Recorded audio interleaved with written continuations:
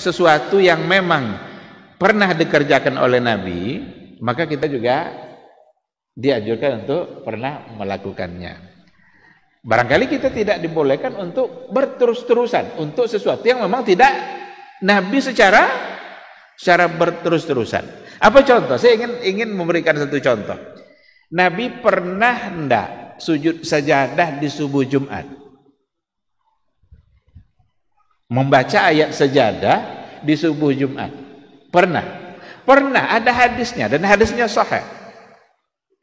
Tetapi apakah Nabi setiap Jumat sujud sajadah? Tidak. Sekarang kalau kita haruskan setiap Jumat itu subuh sajadah, salah kita. Salah. Karena membuat satu ketentuan yang Nabi tidak tidak mengerjakannya. Pernah iya, tapi setiap subuh tidak. Karena ada keyakinan sebagian ndak apa kurang so subuh kalau ndak sejadah. Tapi kalau mau melakukan, lakukan. Silakan.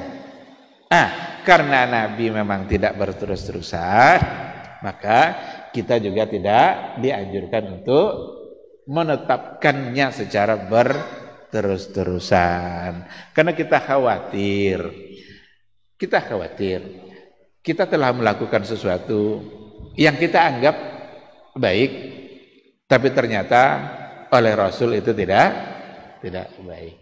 Makanya jadi masalah sebenarnya bukan sujudnya itu, tetapi adalah menjadikannya sebagai sebuah ibadah yang harus terlaksana dalam setiap dalam setiap Jumat.